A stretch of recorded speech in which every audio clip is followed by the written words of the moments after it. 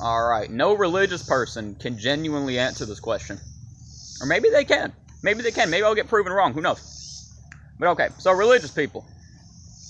There are over 4,000 religions on the planet, all established. All, uh, all have belief systems. So, the religion that you, you person watching the video, follow, what's your proof or evidence that the religion you follow is legit? It's real. That, that that's the right religion. Because you know, I mean, all religions can't be right, right? Like people, uh, Christians love to say like a billion people can't be wrong, and uh, I'm pretty sure, I guarantee Muslims say that too. They probably say it in other language though, because uh, I don't speak Arabic or whatever. Yeah, people always say that a million people can't be wrong, and uh, a billion people can't be wrong, but 4,000 religions can't be right. So what is it? Which one is it? Which one is the real one? I mean, of course, most people are going to say Christianity or Islam, because those are the two most popular. But guess what? Popularity doesn't equal truth.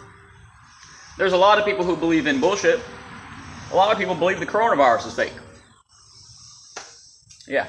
A lot of people believe uh, the earth is flat. There's a lot of misinformation. It's almost like religion is just another form of misinformation. You must say, just, where's your where's your fedora? Where's your fedora, you fucking my fedora's right here. I tip it for you, my lady. Nah, seriously though. Seriously though. That that's how you know. That's how you know they can't answer the question. Um, I really am curious though. What uh what people have to say about that.